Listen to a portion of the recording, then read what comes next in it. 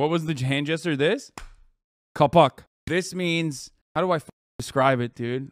Kapağı nasıl anlatayım Amerikalılara? It's like a stamp.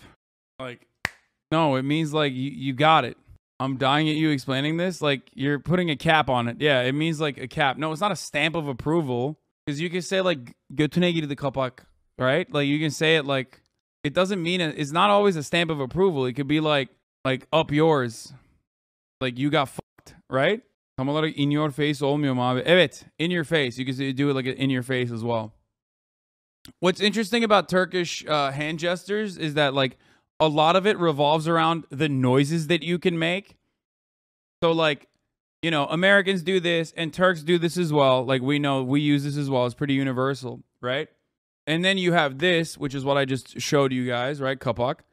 But then also on top of that, in Turkey, we do this, right?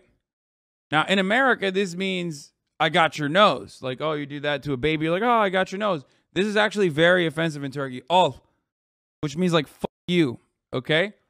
But it doesn't end there. So just like with the kapak, the sound you make is important. In Turkey, you have you can do it like this. Okay? And you can't really hear it from hold on, because I have a noise gate on. I'm gonna unshackle the noise gate for a second here. But what you're supposed to do in Turkey, if you want to say like fuck you to someone, that was weak. In Turkey, if you want to say fuck you to someone, you do this. You lick your arm like this to make the noise even harder.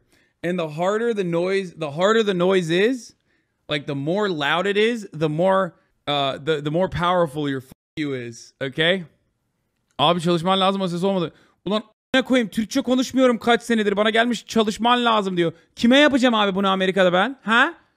Hatırladığıma göre hatırladığıma şey duyun yani e, e, gurur duyun. Herife bak beğenmedi. Burada 30 bin Amerikalıya neler öğretiyorum. Did you practice that as a teen uh, in front of a mirror? Yes, a 100%. Like that. That's a better one.